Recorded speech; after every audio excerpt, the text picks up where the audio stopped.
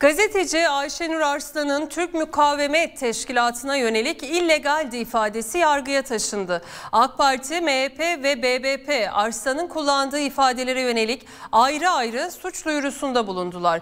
AK Parti ve MHP'nin dilekçelerinde Ayşenur Arslan'ın ifadeleriyle Türk milleti ve Türkiye Cumhuriyeti Devleti'ni aşağılama suçunu işlediği ve Türk Ceza Kanunu'nun 301. maddesine göre cezalandırılması gerektiği iddia edildi.